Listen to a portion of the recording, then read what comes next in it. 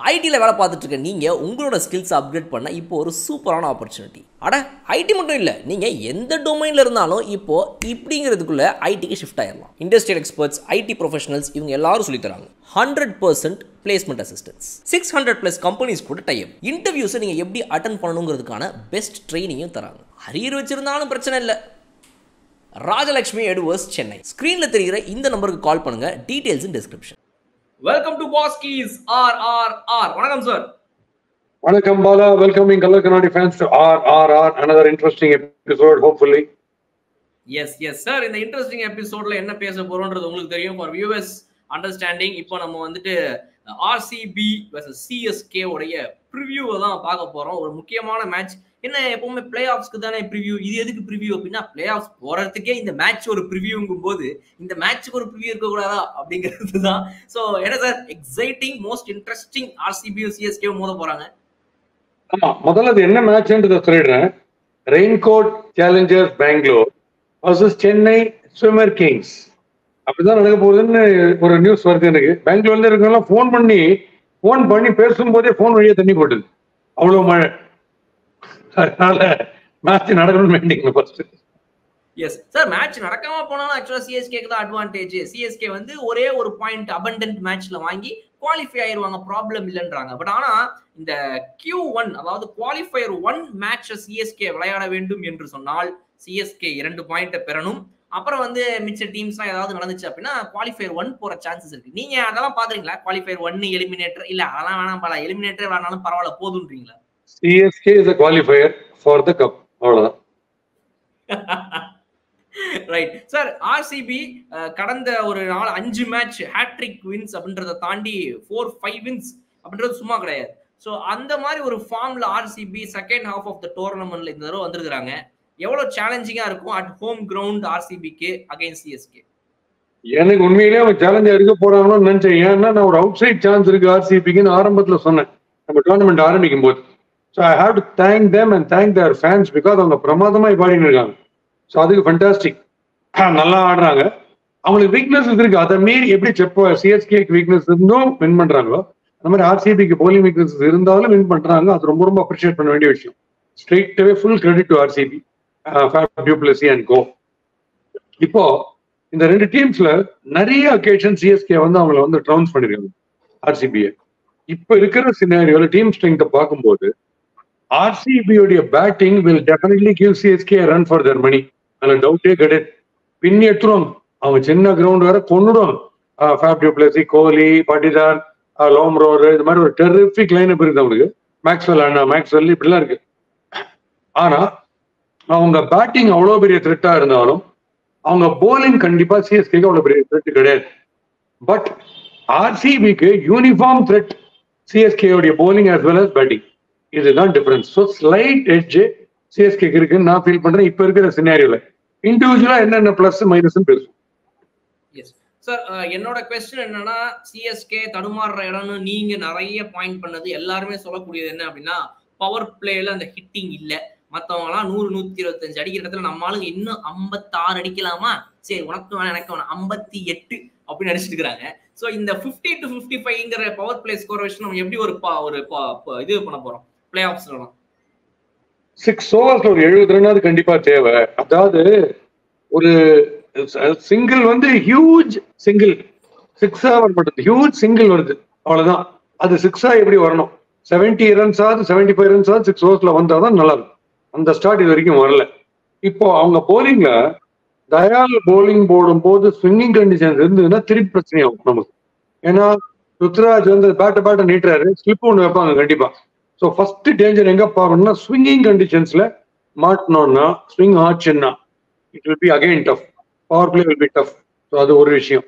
And uh, அவங்க batting Faf du Plessis ஆடும்போது hundred percent sweeper cover towards extra cover தான் வைப்பாங்க.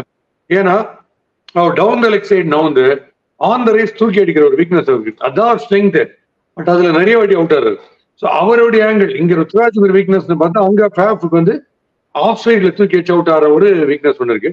ஆர் எடுத்து உடனே ஸ்பின் வந்தா is not as comfortable as is when is playing pace bowling இந்த விஷயங்கள்லாம் இருக்கு.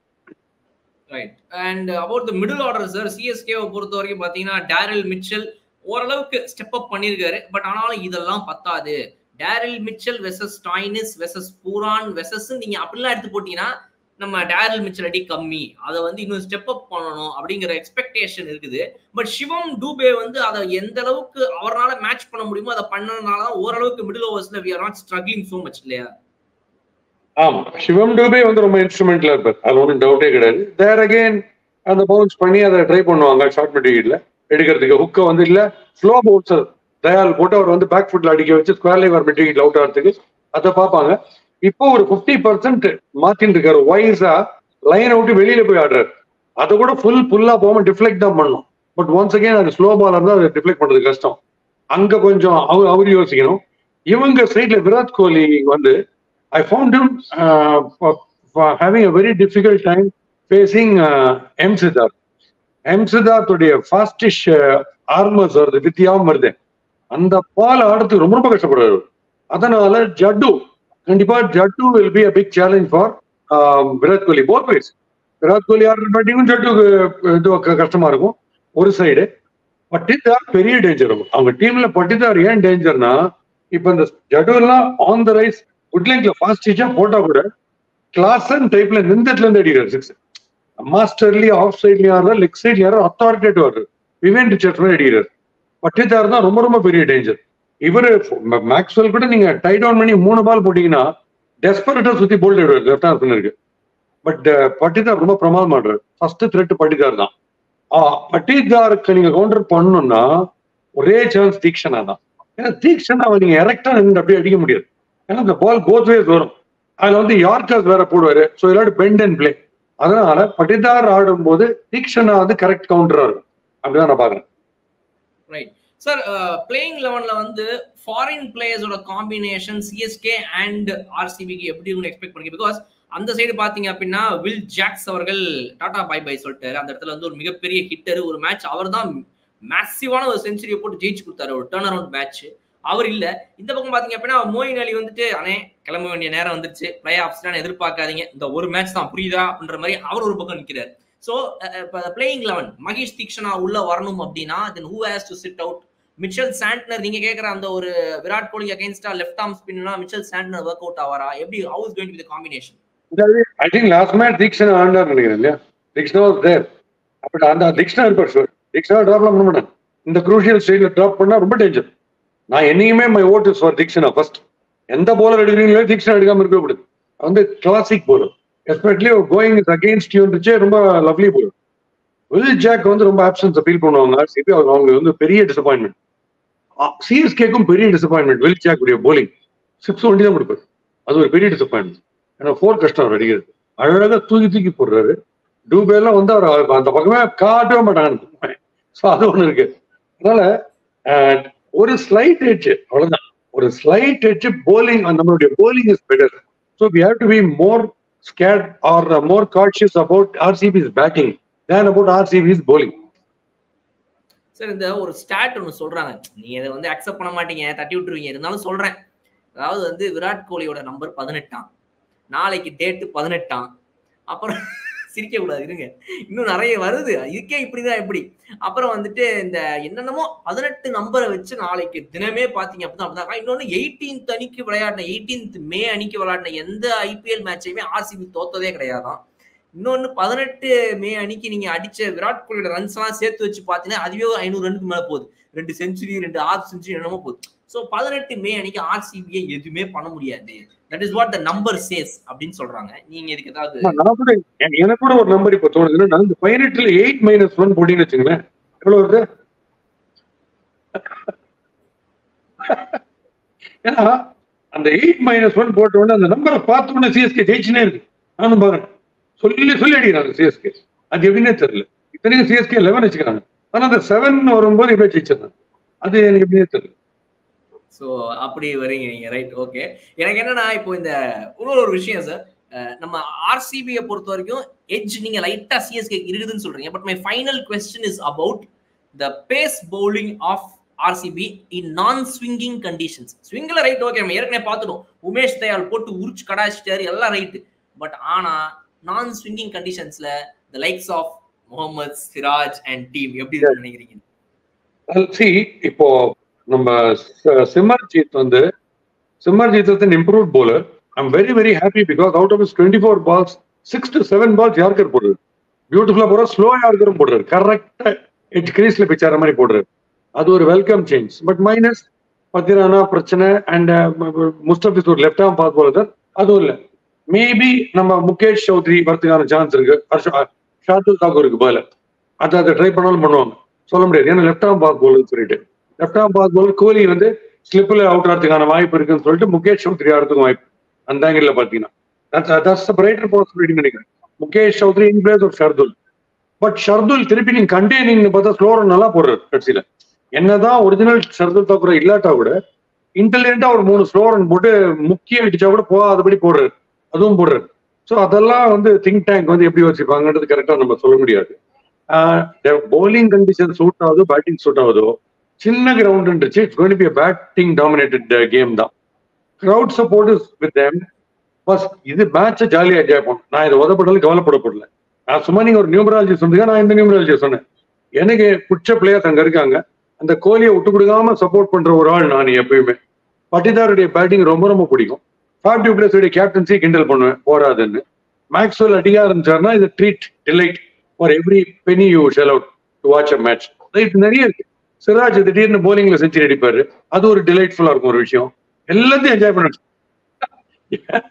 நீங்க எல்லாத்தையும் என்ஜாய் பண்ண. வந்துட்டு அப்படி அப்படி ஒரு துரியோதனா அப்படின்லாம் பாப்பாரு யாரு? ஒரு நம்பர் நைன் பேட்ஸ்மேன் ஒருத்தர் எடுத்துட்டு. அதெல்லாம் கொஞ்சம் மாத்தணும்னு நினைச்சா மாத்தல பட் பரவாயில்ல. நல்ல ஓப்பனிங்ல வரவங்க செம்மையா வாங்குவார். ருத்ராஜ் கைகோர்லாம் அவர் அடிக்கிறதே தெரியாது. ஸ்லோ பாய்சன் மாதிரி சிக்கு சிக்குன்னு போயிட்டு இருக்கும் சிக்ஸ் ஸோ அதெல்லாம் ஒரு பக்கம். எல்லாமே என்ஜாயபிள் தான். பிளஸ் மைனஸ் நமக்கும் இருக்கு. நம்ம தீக்ஷனாட்ட கேட்ச் போகும்போது தான் எல்லா தெய்வத்தையும் வேண்டியது நம்ம. இது ருத்ராட்ச மாலையெல்லாம் ஒவ்வொன்றா எண்ணி எண்ணி டைட்டா பிடிச்சி பண்ணலாம் இங்க தீக்ஷனா அப்போ பால் போகும்போது. இப்போ நிறைய விஷயங்கள் இருக்கு. நல்ல ஸ்ட்ரைக் ரேட் ஒன்று ஜடேஜா முக்கிய முக்கிய அடிப்பாரு. பேட்ல படாது அது ரொம்ப வருத்தமா ஐயோன்னு நம்ம அப்படியே எனக்கே முடி கொட்டுற மாதிரி இருக்கும். அது ஒண்ணும் பண்ண முடியாது.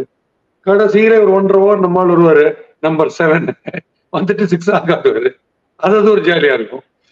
எல்லாம் மைனஸ் பிளஸ் இசிஜி டைப்ல பேர் ஏறி இறங்கி இருக்கும்.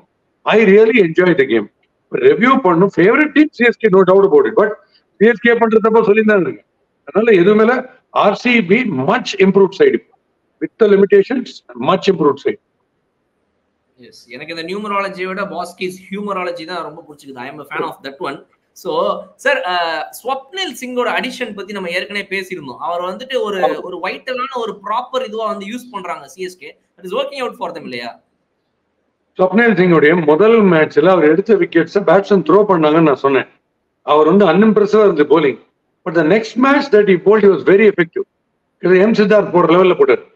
நம்ம ஸ்வப்னில் சிங் ஸோ கன்சிஸ்டன்சி இல்லாதவங்களை பத்தி நம்ம ரொம்ப பயப்பட முடியாது. இப்போ ஜடேஜா மாதிரி நேகிங்கா கன்சிஸ்டன்டா போடுறவங்க தீக்ஷனா மாதிரி போடுறவங்களை பத்தி தான் பேட்ஸ்மேன் வந்து யோசிச்சுட்டு இருப்பாங்க. கேம் பிளான் எப்படி பண்ணலாம் அப்படின்ட்டுலாம். அவ்வளோ பெரிய த்ரெட் அவர் இருப்பாரு எனக்கு தோணல. லோமரோர் செகண்ட் ஹாஃப்ல வந்தாருன்னா பேட்டிங் நல்லா சிக்ஸ் பயங்கரமா அடிக்கிறாரு. லெஃப்டி அவர் நல்லா அடிக்கிறாரு. ஸோ இருக்கு. It's be very very interesting match provided rain gives them permission right okay sir பாப்போம் யாரோட சைடு வெற்றி வரப்போகுது? ஆர்சிபியா சிஎஸ்கே யாரு final school I mean play off ஸ்கூல்ல போக போறா? அந்த லாஸ்ட் ஸ்பாட்டை பிடிக்க போறாங்கிறத என்ன சார் நீங்க என்ன இந்த டாக்டர் எல்லாம் சொல்ற மாதிரியா இப்போ? எதுவா இருந்தாலும். மாற்றி சொல்றீங்க. இன்னைக்கு ரெண்டு மூணு இன்டர்வியூ பண்றீங்க. ரெண்டு கிளார் இருக்கு. ஒன்னு மீடியா கிளார் இருக்கு. இன்னொன்னு என் தலையே எனக்கு கொஞ்சம் கிளாரா இருக்கு. சம்டைம்ஸ் டக்குன்னு கிளாஸ் ரைட் ஓகே இந்த பக்கம் என்ன நடக்க போகுது அப்படிங்கறத மேட்ச் முடிஞ்சோடனே பார்ப்போம். Thank you so much for joining sir thank you very much mister Bala thank you